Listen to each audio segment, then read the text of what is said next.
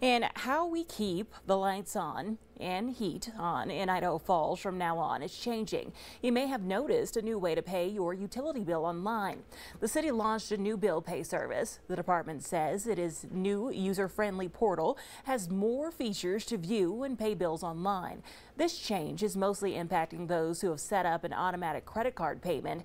This month you will have to re-enroll in AutoPay with the new invoice cloud payment system. Because of certain regulations and requirements, it's called PCI compliance.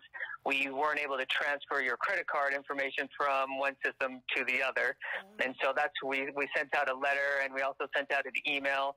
And we have employees that are calling these customers as well just to inform them of this change. So they just need to go on there and re-register and put their, their credit card information in the system.